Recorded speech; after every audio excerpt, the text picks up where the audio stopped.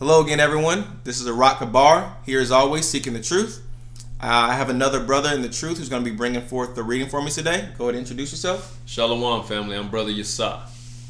So, again, Brother Yasa, he's going to be bringing forth the scriptures as I'm going over the commentary for today's lesson. So, the name of this lesson is going to be the core doctrines and beliefs of this channel. Okay?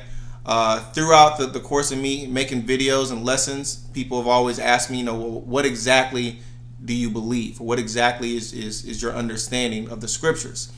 Um, and like I said, my videos, they're always normally tailored towards one specific thing. Uh, so I can't revert back to one video to kind of give a general understanding of, you know, how we understand to, to read the Bible.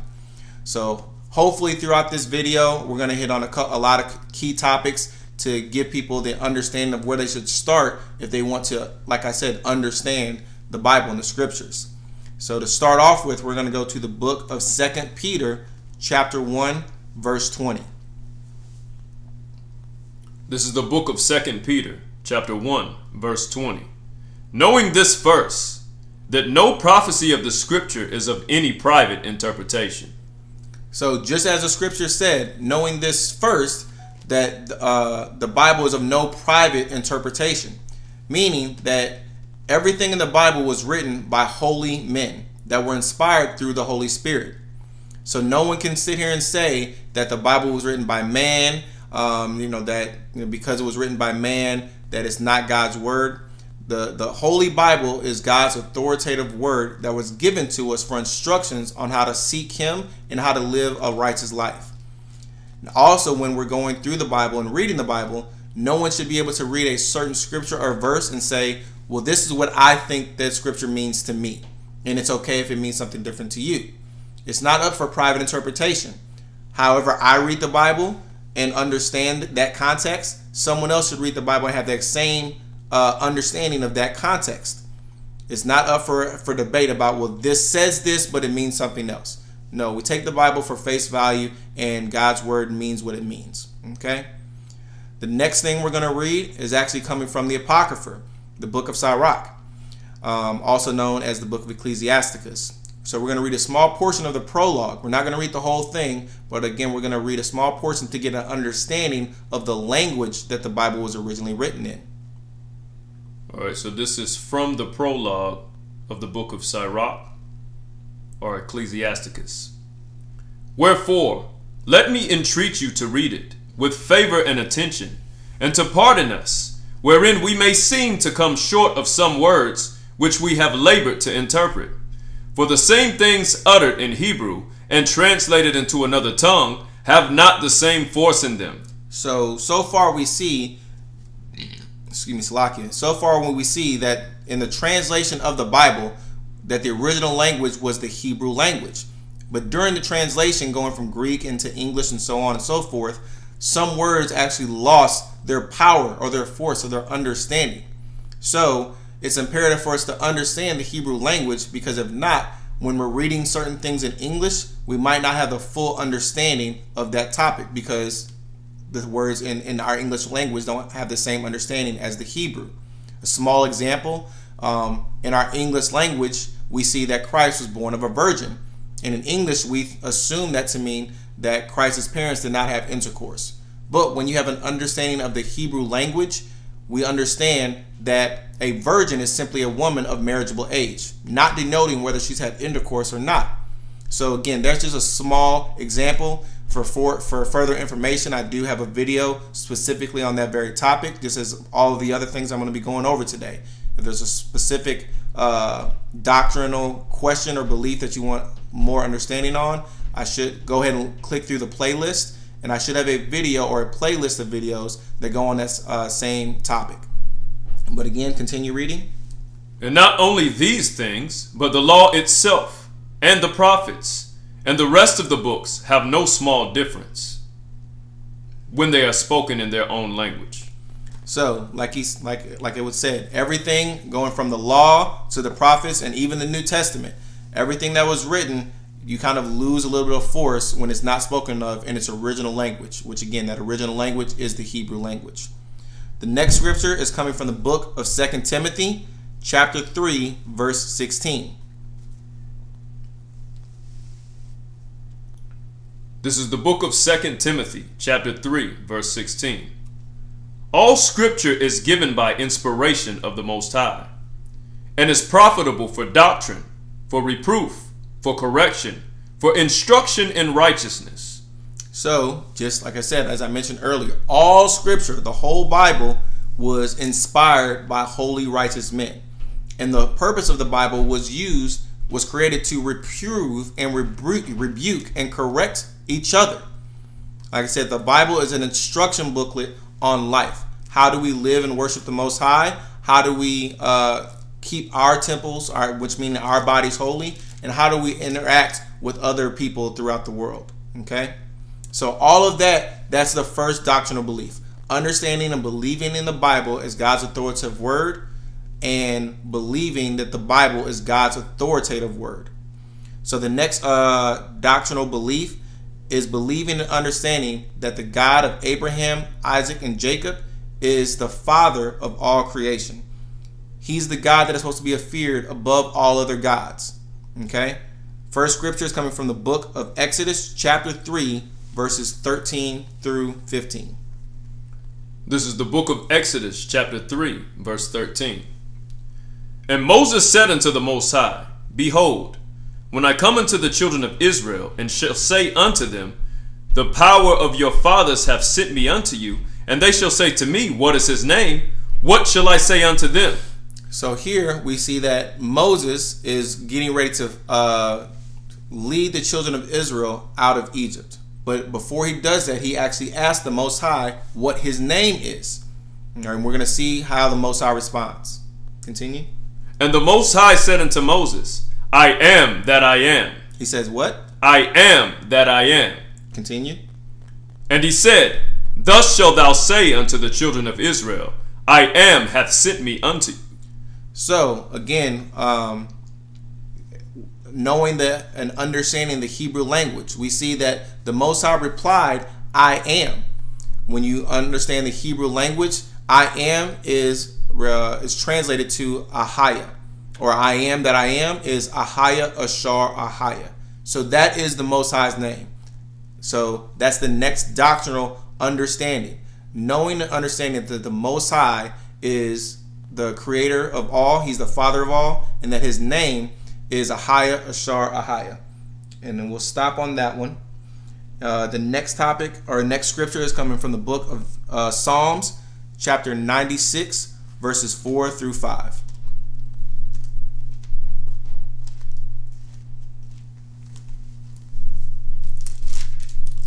Again, the next scripture is coming from the book of Psalm, chapter 96, verse 4 through 5. This is the book of Psalms, chapter 96, verses 4 and 5. For the Most High is great, and greatly to be praised. He is to be feared above all gods. So, this scripture is saying that the Most High is to be feared above all other gods. So, that is already an indicator that there is more than one God in the earth or that is being utilized in the earth. Continue. Verse 5 For all the gods of the nations are idols, but the Most High made the heavens. So the gods of the other nations are all idols. Again, when it's saying the other nations, is referring to the other nationalities. So, for example, the the Arab nation or nationality of Arabs has a god subscribed to that nationality, and in that nationality or that god, they have an idol that subscribed to that, referring to the Kaaba stone. Okay, again, so that's just a small example. But all other gods, other than the Creator, which has created all gods, um, has an idol subscribed to it. So if there's a God out there that has a certain idol that you're supposed to pray to or give reverence to, that God has nothing to do with the Father. That's not Ahayah. Okay? The next scripture is coming from the book of Jeremiah, chapter 23, verses 26 through 27. This is the book of Jeremiah, chapter 23, verse 26 and 27. How long shall this be in the heart of the prophets that prophesy lies? Yea, they are prophets of the deceit of their own heart. Verse 27 mm-hmm. Which think to cause my people to forget my name by their dreams, which they tell every man to his neighbor as their fathers have forgotten my name for Baal. So here we see in the scriptures that even back during the prophet's time, that the children of Israel forgot the Most High's name. And in forgetting the Most High's name, they began to worship Baal. So all of the gods that in earth that are being worshipped today all resort back to the same worship of Baal. Okay? Any name that is not associated with the Haya Ashar Haya and his son Yeshaya, which again we'll get into that, um, are names that are associated with Baal. So gods like Jehovah, gods like Yahweh, um, gods like Allah, all these other gods are gods that are that are one subscribed to idols and also is not associated with the father of Abraham, Isaac, and Jacob. Okay? So the next doctrinal understanding is understanding that Christ is actually the son of the Most High, and he came through the physical seed of David. To get this uh, understanding, the next scripture is coming from the book of Romans, chapter 1, verses 3 through 5. This is the book of Romans, chapter 1, verses 3 through 5. Concerning his son, Yeshua Christ, our Lord. Concerning, start over, say that again. Concerning his son, mm-hmm. Yeshua Christ, our Lord. So we see that it's referring to Christ as the Son, the Son of the Most High. And for further edification, Christ's actual name is Yeshaya, which means my Savior. Now, again, in your English Bibles, you will see that translated to Jesus. Once again, I have another video uh, that breaks down the name of, of Christ and also breaks down that he's actually the Son of God versus being God himself. But again, start from the top and read that again. This is the book of Romans, chapter 1, verse 3. Concerning his Son, Yeshua Christ our Lord, which was made of the seed of David according to the flesh. So it says that Christ was made of the seed of David according to the flesh, which again, going back to what I stated earlier, a lot of people, because they don't have the understanding of the Hebrew language, believe that Christ was born without a physical father. But that's because they don't understand the Hebrew language. Even in the scripture, it states that he was born of the seed, which is a physical thing that comes from a man uh, of David. Continue. Verse 4 And declared to be the Son of the Most High with power, mm-hmm. according to the Spirit of holiness, by the resurrection from the dead so, like I said, once again, he's also referred to as the Son of the Most High. This is not Christ being referred to as God or the Father himself. Okay? Verse 5 By whom we have received grace and apostleship for obedience to the faith among all nations for his name. And it is also through Christ that we're able to receive the gift of eternal life, okay, or the resurrection of the dead. Okay? But you have to believe first on Christ in order to even get to the Father. The next scripture is coming from the book of Matthew, chapter 1, verse 21.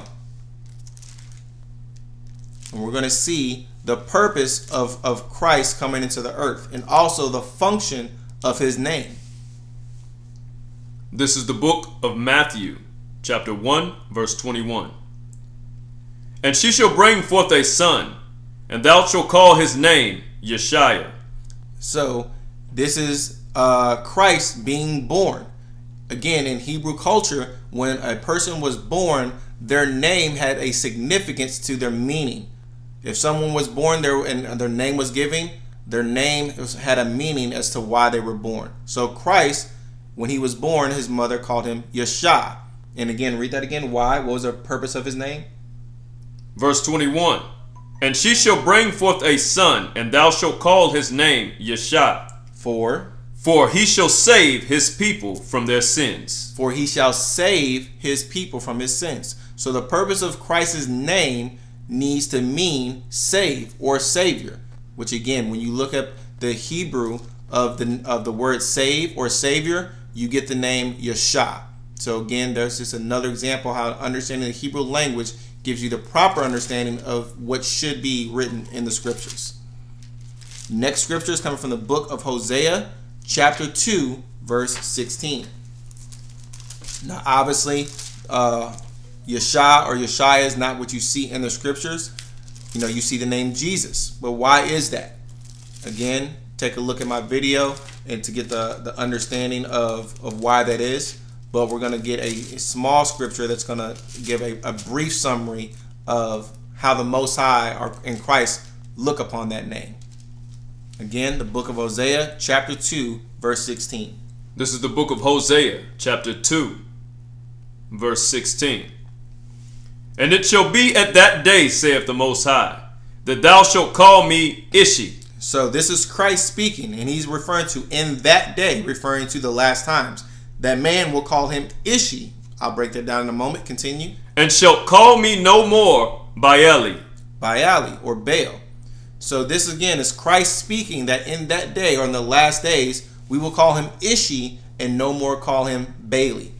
When you again look up the uh, the Hebrew, and if anyone is, is wanting to understand the Hebrew, I encourage you to uh, look look up or use a Strong's Concordance. Or if you need to have access to the internet, you can use the Blue Letter Bible because it has a Strong's Concordance tied into it. But the name Ishi, when you look up what is written there, Ishi is actually Yeshaya. And the name Baali is also is, is resorts to the god named Baal. And then again, when you do your word study and your word search, you can see that Baal is also tied to the Tetragrammaton. The Tetragrammaton is Yahweh, Jehovah, and all other names that come from those four letters of YHWH. But again, this verse is simply stating that Christ is going to come back in the last days, and when he does, we will refer to him as Ishi or Yeshaya and no longer call him Baali or any name associated with that. All right. So that's it on the next topic, or, or excuse me, that's it for the next for that doctrinal understanding or, or belief. So the next thing is understanding who the Holy Spirit is. The Holy Spirit is actually a feminine spirit. We can get this understanding. Go into the book of Proverbs, chapter 22. Uh, I'm sorry, Proverbs chapter 8, verses 22 through 35. This is the book of Proverbs, chapter 8, verse 22. He goeth after her straightway, as an ox goeth to the slaughter or as a fool to the correction of the stocks. Verse 23 Till a dart strike through his liver, as a bird hasteth to the sword, and knoweth not that is for his life. Salakia. I was reading out of chapter 7. The book of Proverbs, chapter 8, verse 22. The Most High possessed me in the beginning of his ways. So, this is the a spirit speaking. We're going to get the understanding of who is speaking. But it says the Most High possessed him, possessed the Spirit in the beginning of his ways. Continue. Before his works of old. Verse 23. So before his works of old. So before earth was created, this Spirit existed. Continue. Verse 23. I was set up from everlasting, mm-hmm. from the beginning, or ever the earth was. So again, before the earth was created, this spirit was, was in existence. Verse 24 When there were no depths, I was brought forth, when there were no fountains abounding with water. Verse 25 Before the mountains were settled, before the hills was I brought forth. Verse 26 While as yet he had not made the earth, nor the fields, nor the highest part of the dust of the world. Verse 27 when he prepared the heavens, I was there. When he set a compass upon the face of the deep. When he established the clouds above. When he strengthened the fountains of the deep. When he gave to the sea his decree that the waters should not pass his commandment. When he appointed the foundations of the earth. Then I was by him, as one brought up with him, and I was daily his delight, rejoicing always before him rejoicing in the habitable part of his earth, and my delights were with the sons of men. No, I'm sorry, keep going. Now therefore hearken unto me, O ye children, for blessed are they that keep my ways.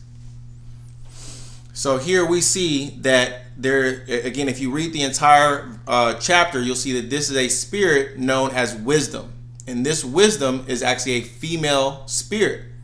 And this female spirit existed or was created in the beginning before the Most High did any creation, before earth was created or anything. We're going to see what spirit that this could have been. Uh, let's go to the book of First John, chapter 5, verse 7. Who was with the Most High in the very beginning before uh, any other creation was made? And this is a female uh, spirit. Because again, in Proverbs 8, it kept on referring to this wisdom as a she. This is the book of First John, chapter 5, verse 7. For there are three that bear record in heaven mm-hmm. the Father, the Word, and the Holy Spirit. And these three are one. So, as we see, there was only three that were in existence in the very beginning. The Father, which we know his name is Ahia, Ashar Haya. The Son, which we just said his name is Yeshaya. And the Holy Spirit, which we know is a feminine spirit based off of what we just read in the book of Proverbs, chapter 8. And when it states that these three are one, it's referring to one in thought, as in not a one entity, but one in unison, as in they all have the same plans, morals, and goals. They're working together as a family. Okay? The next scripture is coming from the book of Wisdom of Solomon, chapter 9, verse 17. This is the book of the Wisdom of Solomon, chapter 9, verse 17. And thy counsel who hath known, except thou give wisdom and send thy Holy Spirit from above. So, wisdom is referred to as the Holy Spirit. So, again, when we read back in the book of Proverbs, that entire chapter was referring to a, a female spirit referred to as wisdom. And then again, here in the book of the uh, Wisdom of Solomon, we can see that that wisdom is referring to the Holy Spirit. Okay? So that's the next uh, doctrinal understanding or belief. Next, uh, we need, in order for us to receive forgiveness for our sins, we must confess our faults. And then we must change from our wicked ways while we continue to walk in the Spirit of Christ. So, how do we do that? Confessing our faults and then continuing to walk in a new life. That means we need to be baptized. So, the next uh, doctrinal understanding or belief is the belief in water baptism. Okay? We're going to get this from the book of Acts, chapter 2, verse 38. This is the book of Acts, chapter 2, verse 38. Then Peter said unto them, Repent and be baptized, every one of you, in the name of Yeshua Christ, for the remission of your sins, and ye shall receive the gift of the Holy Spirit. So we see the instruction is for us to repent and be baptized. And why? For the remission or the forgiveness of sins. So there can be no forgiveness of sins if you were rejecting water baptism. So again, that's the next doctrinal understanding and belief. You have to accept water baptism. Water baptism comes with the full immersion underwater, um, which is comes after you first confessing your faults, not to man, but confessing your faults to the Most High. The next scripture is coming from the book of Romans, chapter 12, verses 1 through 2. This is the book of Romans, chapter 12, verses 1 and 2. Beseech you, therefore, Salakia, I beseech you, therefore, brethren, by the mercies of the Most High, that ye present your bodies a living sacrifice, holy, acceptable unto the Most High, which is your reasonable service. Mm-hmm. Verse 2 And be not conformed to this world, but be ye transformed by the renewing of your mind, that ye may prove what is that good and acceptable and perfect will of the Most High. So, along with the water baptism comes the transforming or the renewing of your mind. One can't just simply choose to be baptized and then continue to walk a wicked lifestyle. Part of being baptized again is confessing your faults, then going underwater full submersion to come out as a new creature. When you're coming out as a new creature, that is you walking in a new or different lifestyle, putting away all the, the wickedness that you've done in your past. The next scripture coming from the book of John, chapter 3, verse 5. This is the book of John, chapter 3, verse 5. Yeshua answered, Verily, verily, I say unto thee, Except a man be born of water and of the Spirit, he cannot enter into the kingdom of the Most High. That which is born of flesh is flesh, and that which is born of the Spirit is spirit. So we see here that Christ himself said, unless a man is born again, he cannot enter the kingdom. How is a man born again? Through water baptism. So again, that's the next uh, doctrinal understanding or belief. So that's five of them. Um, there's five more to go. Next one is we need to separate ourselves from all paganism or un- and unrighteousness. What I mean by paganism, that means no longer celebrating holidays or traditions that idolize false gods. For this understanding, we can go to the book of Second Corinthians, chapter 6, verses 14 through 17.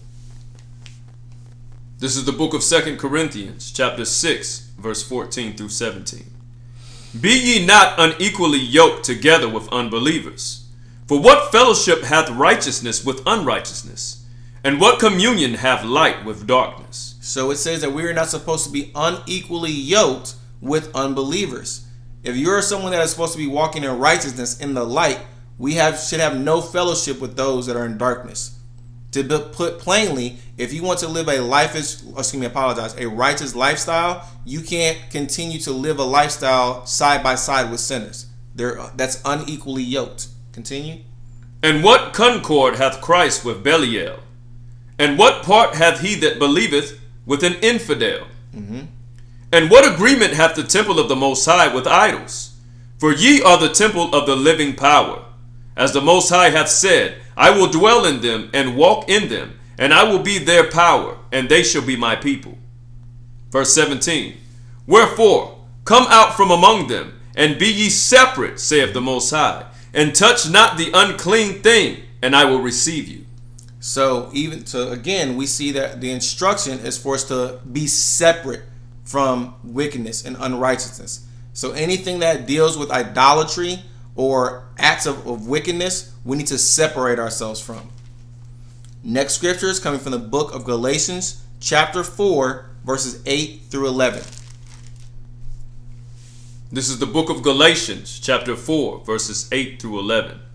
Howbeit then, when ye knew not the Most High, ye did service unto them which by nature are no gods. So, this is again speaking to the children of Israel. Before we once knew the Most High and the truth of His righteousness and His laws and commandments, we are at one point keeping services and traditions unto other gods. Continue. Verse 9. But now, after that ye have known the Most High, or rather are known of the Most High, how turn ye again to the weak and beggarly elements? So, so this is a question that Paul was asking the church. How is it that once before you knew the understanding of Christ, uh, you were in the Most High, you were following, uh, falling to these fallen gods and having you know traditions and holidays and celebrations to these gods. But now, after you've been introduced to the truth, how can you then revert back to those same uh, traditions that you now know are pagan? Continue. Whereunto ye desire again to be in bondage. Verse 10 Ye observe days and months and times and years. I am afraid of you, lest I have bestowed upon your labor, you labor in vain. So again, Paul's asking, Did I do all of this in vain? Did I do all this in, for nothing? Did I teach you all this understanding just for you to go back to the same vain worships of, of idolatry before you knew the truth of the Most High? So again, this is just simply showing that prior to Israel uh, having the full understanding of Christ and the Most High, they were following other gods. So just like us, once you come to this understanding, you should then put away all paganism. Once you find out the truth of the Most High's holy days, you should no longer be worshiping Christmas, Easter, Thanksgiving, or anything like that. The Most High gave us righteous holy days to follow. Those should be the, ho- the holy days that we subscribe to. Next scripture is coming from the book of Jeremiah, chapter 10, verses 2 through 3. This is the book of Jeremiah, chapter 10, verses 2 and 3. Thus saith the Most High Learn not the way of the heathen, and be not dismayed at the signs of heaven, for the heathen are dismayed at them. For the customs of the people are vain. For one cutteth a tree out of the forest, the work of the hands of the workmen with the axe. So we see that again, the instruction is for us to not learn the way of the heathen or not learn the way of the other nations. The things that the other nations do, their customs and their traditions, we should stay away from. So again, going back into the holidays, a lot of times people make their statement, well, I don't celebrate this holiday to give honor to a god. I just do it out of tradition or out of a custom. But any custom or tradition that is that a, another nation uh, that they created in order to worship a god, again, we shouldn't do have anything to do with. And in this scripture specifically, we even see it resor- uh, specifically refers to the Christmas tree. Okay, how again someone goes to uh, goes to the woods and cuts a tree down with an axe, uh, fasten it with hammer and nails, wrap it with, with silver and gold. Again, just like everything else I'm going over today, there's other videos are uh, on my playlist that go into these specific topics, but I want to keep it general for right now. All right. The next doctrinal understanding is uh, we need to live our lives in accordance with the Most High's commandments. So, like I said, if we're going to follow the Most High, we need to keep all of His commandments. That means keeping the dietary law, the the the, the Ten Commandments, um, as well as following all of the holy days. The first scripture is coming from the book of Matthew, chapter 5, verses 17 through 19. This is the book of Matthew, chapter 5, verses 17 through 19. Think not that I am come to destroy the law or the prophets. I am not come to destroy, but to fulfill. So Christ spoke himself that he did not come to destroy the law or the prophets, which is any of the Old Testament. Okay? Again, a lot of people out there believe that because Christ came and died on the cross, we no longer have to keep the laws. That is incorrect. Christ said so uh, himself that that is not what he came to do. Continue.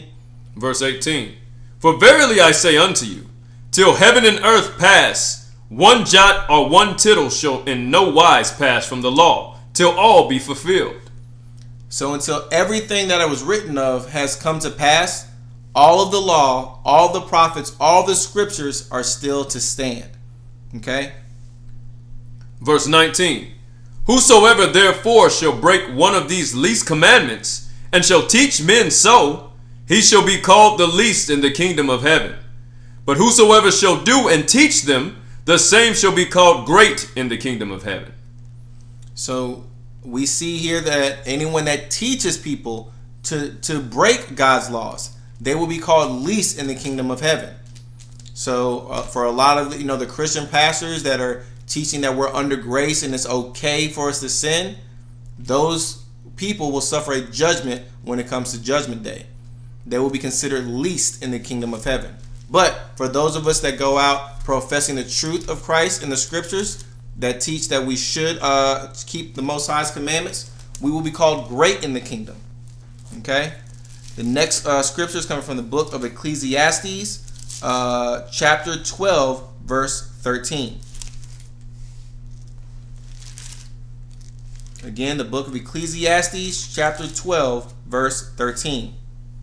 This is the book of Ecclesiastes, chapter 12, verse 13. Let us hear the conclusion of the whole matter. Fear the Most High and keep his commandments, for this is the whole duty of man.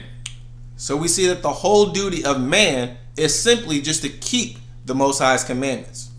So if that's the whole duty of man for us just to keep the commandments, how then can one say that we that we're not under the commandments, that we're under grace? We shouldn't keep the commandments when that is our whole purpose. The next scripture is coming from the book of First John, chapter 5, verse 3.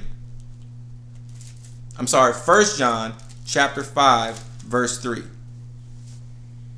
This is the book of First John, chapter 5, verse 3. For this is the love of the Most High, that we keep his commandments, and his commandments are not grievous. So, for someone professing to love the Most High, that means you need to be keeping his commandments.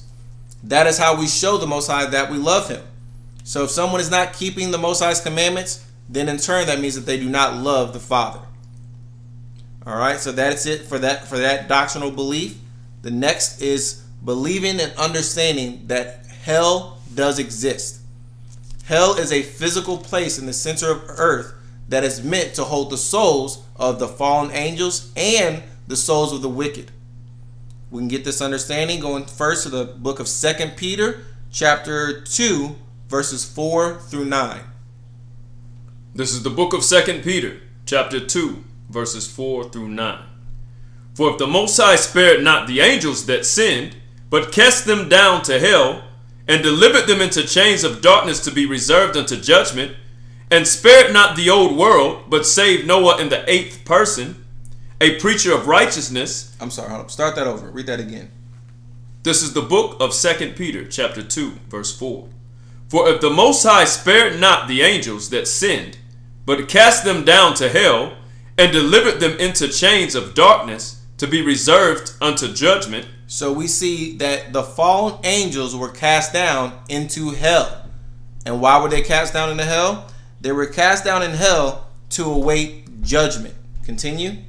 Verse 5 And spared not the old world, but saved Noah, the eighth person, a preacher of righteousness, bringing in the flood upon the world of the ungodly, and turning the cities of Sodom and Gomorrah into ashes, condemned them with an overthrow, making them an ensample unto those that after should live ungodly, and delivered just Lot, vexed with the filthy conversation of the wicked. For that righteous man dwelling among them in seeing and hearing vexed his righteous soul from day to day with their unlawful deeds. The Most High knoweth how to deliver the godly out of temptations, and to reserve the unjust unto the day of judgment to be punished. So it says the Most High will reserve the unjust until the day of judgment. So where will these souls be reserved?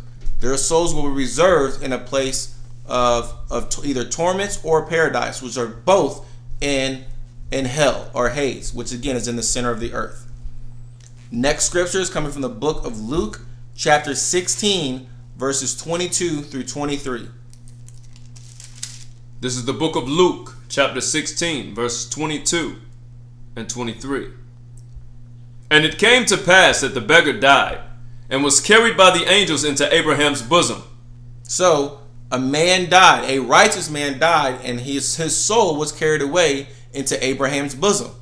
Abraham's bosom is uh, also in hell. It is just in hell, there's two different chambers. There's the place of torments, and then there's a place of paradise, referred to as Abraham's bosom. Continue. The rich man also died and was buried. Verse 23. And in hell he lift up his eyes. And in where? In hell he lift up his eyes, mm-hmm. being in torments, and seeth Abraham afar off, and Lazarus in his bosom. So we see now that a wicked man also died and his soul was in hell. But where at in hell? In torments. But while he was in torments, he could see paradise. So again, if he was already in hell in torments, but he could see paradise, again, both Abraham's bosom or paradise are both in hell. Hell is just again the center of the earth where souls are being held. Next scripture is coming from the book of Matthew, chapter 10, verse 28. This is the book of Matthew, chapter 10, verse 28. And fear not them which kill the body, but are not able to kill the soul, but rather fear him which is able to destroy both soul and body in hell. So we see that we're being commanded to not fear someone that can destroy your physical body, but rather we should fear the Most High. Be why? Because He has the power to destroy both our body and our souls in hell. Again, another scripture proving that hell is a physical place that does exist. The next uh, doctrinal understanding or belief is is the knowledge that we only have one life to live, and through this one life, uh, we have to act in our righteousness, improve our works, and that grace alone is not enough. Once our this life is over, we will all be judged by the things that we do. First scripture is coming from the book of Hebrews, chapter 9, verse 27. This is the book of Hebrews, chapter 9, verse 27. And as, as it is appointed unto men once to die, but after this, the judgment. So we see the scripture is very clear. It says that it is appointed unto men once to die. Then after that, the judgment. So there's no such thing as uh, as reincarnation or you know anything that says you have more than one shot. This is the only chance that we give to to prove our righteousness. The next scripture is coming from the book of Revelation, chapter 20, verses 12 through 15. This is the book of Revelation, chapter 20, verses 12 through 15. 15. And I saw the dead, small and great, stand before the Most High. And the books were opened. And another book was opened, which is the book of the life, of life. And the dead were judged out of those things which were written in the books, according to their works. So we see this is now Judgment Day. And on Judgment Day, the books will be opened. And in those books will be written the things that we did. Okay? And that's what we will be judged by. We will be judged by our works. Continue.